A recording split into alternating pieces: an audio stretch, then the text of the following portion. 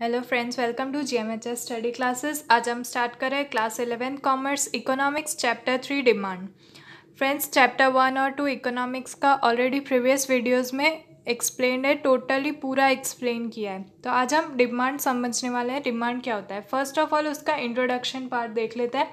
Demand and supply are very important concept among basic concept of economics a person cannot have analytical power without explanation of demand and supply in economics therefore explanation of two market forces called demand and supply is necessary here we will study the concept of economics तो friends demand और supply दोनों vice वर्षा चलते रहते हैं और दोनों ही हमारे business के लिए बहुत इंपॉर्टेंट होते हैं इकोनॉमिक्स में इन दोनों का मेन मेन इंपॉर्टेंट रोल होता है डिमांड एंड सप्लाई जो आप फर्दर लाइफ टाइम जब भी इकोनॉमिक्स पढ़ेंगे तो डिमांड एंड सप्लाई कंसेप्ट आएगा ही। तो अभी हम इसे क्लियर कर लेते हैं एक्चुअली में डिमांड एंड सप्लाई होता क्या है?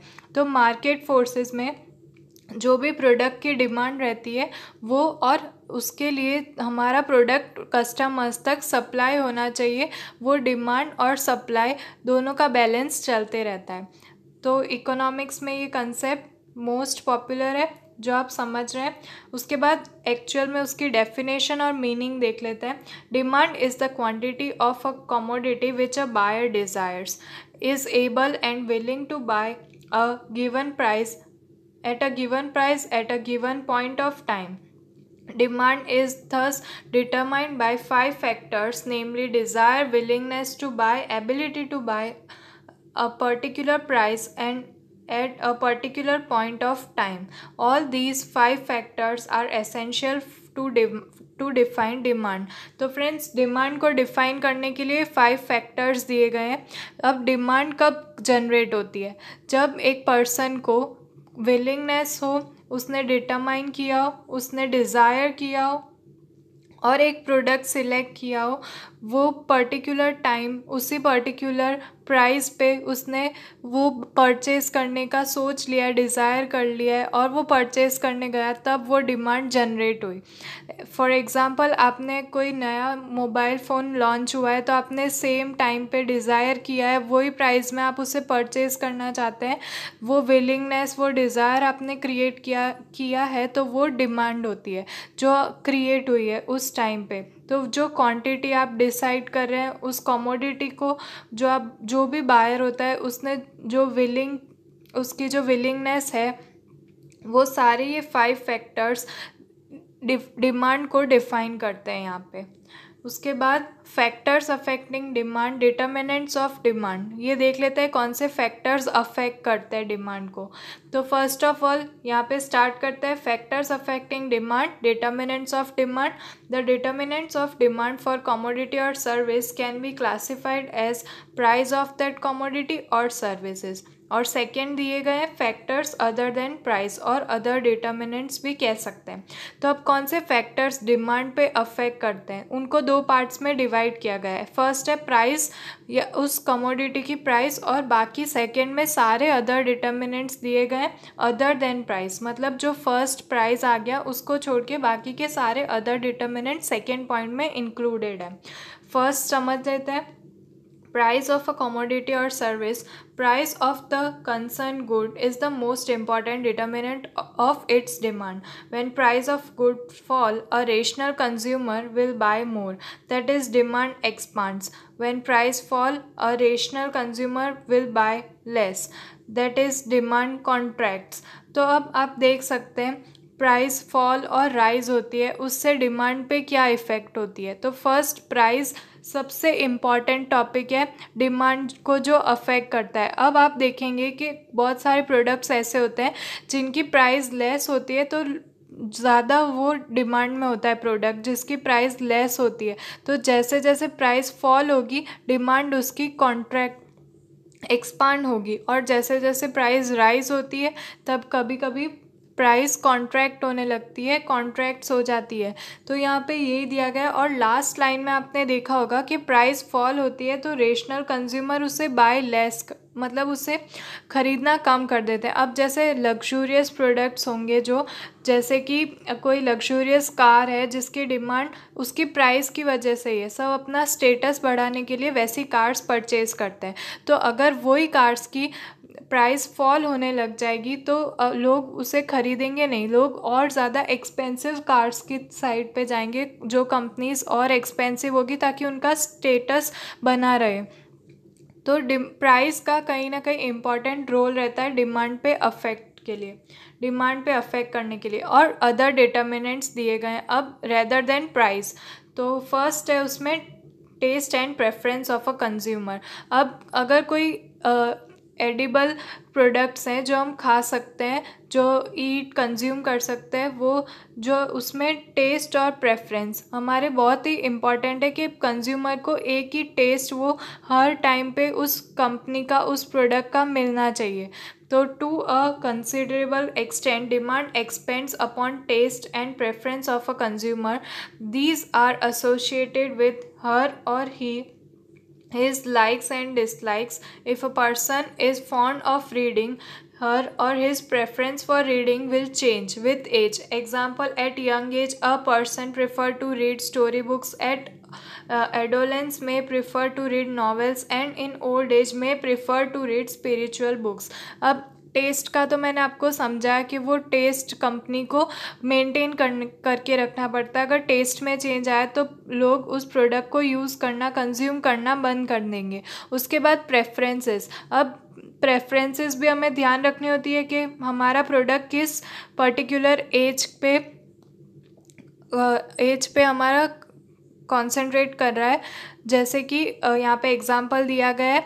अगर बुक्स है तो बुक्स में जो यंग यंग यंग एज तक सारे के सारे book readers story books read करना पसंद करते हैं। उसके बाद जब वो एडोलेंस में आते हैं एडोलेंस एज जब उनकी आती है स्टेज वो आता है, तब वो रीड नॉवेल्स रीड करना प्रेफर करते हैं। और उसके बाद ओल्ड एज में जब भी वो होगा तो वो स्पिरिचुअल बुक्स रीड करना प्रेफर करेगा। तो प्रेफरेंसेस भी हमें देखनी होती है कि हमारा प्रोडक्ट किस एज के लिए सूटेबल है तो हम उसे वैसा बनाएँ। सेकेंड है इनकम ऑफ़ कंज्यूमर अब डिमांड पे इनकम ऑफ़ कंज्यूमर भी अफेक्ट करता है. अब इनकम कितनी होगी? उसी से डिमांड डिमांड उसकी डिसाइड होगी. The demand for a commodity increases with increase of consumer's income when income of consumer fall he her or his demand for a good falls thus there is indirect relationship between income and demand however there are some goods known as inferior goods in economics whose demand de decreases with increase in income thus these goods are exceptions to in to the direct relationship between income and demand तो friends यहाँ पे income कैसे income कैसे impact डालता है demand पे वो देखना है अब देखिए डिमांड जैसे ही किसी की इनकम इंक्रीज़ होगी तो वो प्रोडक्ट्स ज़्यादा परचेज करेगा जैसे अगर उसने एक मोबाइल फ़ोन लिया है या कोई एक दो प्रोडक्ट्स वो मंथली कंज्यूम कर रहा है अगर किसी भी चीज़ के,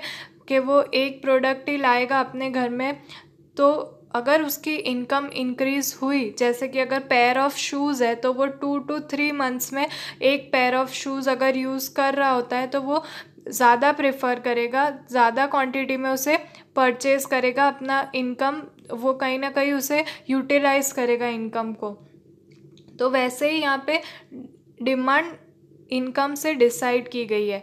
डिमांड कैसे इंक्रीज़ हो रही है फॉल हो रही है, वो हमारे इनकम पे डिपेंड कर रहा है। नेक्स्ट है प्राइजेज ऑफ़ रिलेटेड गुड्स अब उसके रिलेटेड गुड्स जो होंगे, उसकी भी प्राइजेस यहाँ पे मैटर करती है। जैसे normally related goods are substitute goods और complementary goods the demand for a particular goods in the market depends upon the price and availability of its related goods namely substitute goods and complementary goods अब substitute goods और complementary goods क्या होते हैं वो बता देती हूँ। देखिए एक ऐसे गुड्स होते हैं जो हमारे सब्सटीट्यूट होते हैं जैसे कि आ, हम कोई भी चीज़ यूज़ करें आप एग्ज़ाम्पल ले लीजिए, आप स्टेपलर यूज़ कर रहे हैं तो उसके लिए अगर आपने किसी और कंपनी का स्टेपलर लिया है तो उसकी पिंस जो होगी स्टेपलर पिंस वो किसी और कंपनी की यूज़ करे होंगे।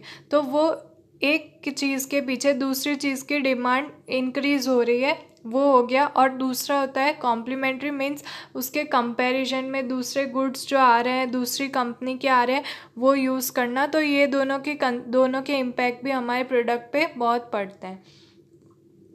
उसके बाद है price of substitute goods substitute goods are those which can be easily use in place of another such goods have similar characteristics they can be use alternative in the satisfaction of the want in other word substitute goods are severally competing goods very closely closely competing brands of television motorcycles refrigerator etc substitute one another. If the price of the substitute good falls then the consumer may choose to replace his or her current brand with the substitute which has become cheaper hence demand for a good falls when price of substitute falls अगर substitute goods की price कम हो गई तो demand भी हमारी fall हो जाएगी तो यहाँ पे सेम वही कंसेप्ट रिपीट किया गया है उसके बाद है प्राइस ऑफ़ कॉम्प्लीमेंट्री गुड जो मैंने अभी आपको आगे समझाया complementary goods are goods which are consume to together one good cannot be consumed without the other in other words